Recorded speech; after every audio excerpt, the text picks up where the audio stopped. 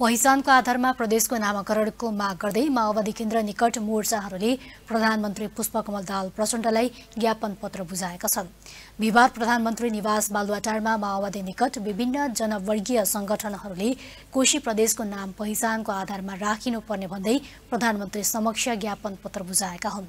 प्रदेशको नामाकरण कोशी भएपछि उत्पन्न परिस्थिति र त्यसको तत्काल वार्ताबाट हल गर्न र आन्दोलनको क्रममा निधन भएको परिवारलाई क्षतिपूर्तिको व्यवस्था गर्नुपर्ने ज्ञापन पत्रमा उल्लेख छ।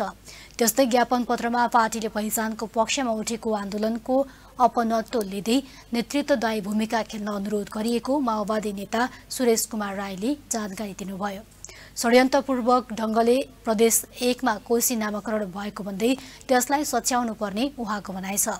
ज्ञापन पत्र बुझ्दै प्रधानमन्त्री प्रचण्डले पहिचानका निम्ति माओवादी लड्दै आएकाले पहिचानमा आधारमा नामाङ्करण गर्न पहल गर्ने आश्वासन दिनुभएको राईले बताउनुभयो।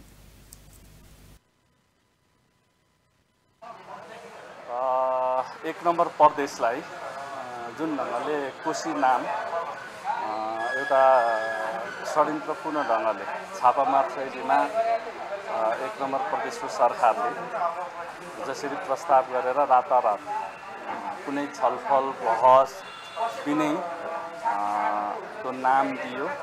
त्यो नामको विरुद्धमा अहिले एक नम्बर प्रदेश अशान्ति छ। त्यहाँ पहिचान पक्षधरहरू पीडित समुदायका सबै समुदायहरू आन्दोलित छ।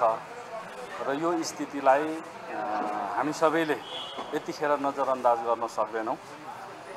हाम्रो पार्टी यो पहिचानको जननी भएको हुनाले हाम्रो पार्टीले नै यसलाई पहल गरेर पुनः नामाङ्कन गर्ने विषयमा र त्यहाँको आन्दोलनलाई गलत दिशामा चाहिँ जान दिनबाट रोक्नको निम्ति अहिले प्रधानमन्त्रीजीसँग हामीले एक नम्बर प्रदेशको मा कार्यरत हामी केन्द्रीय सदस्यहरू र त्यहाँको किराँती राष्ट्रिय मुक्ति मोर्चा लिमुवान राष्ट्रिय मुक्ति मोर्चा धिमाल राष्ट्रिय मुक्ति मोर्चा चाहिँ राजवंशीहरू लगायत त्यहाँको चाहिँ जति पनि चाहिँ शेर्पा समुदायहरू भोटे समुदाय त्यस्तै पहिचानका मुद्दालाई माओवादीले नछुने धारणा प्रधानमन्त्रीले राख्नु भएको उहाँले जानकारी दिनुभयो।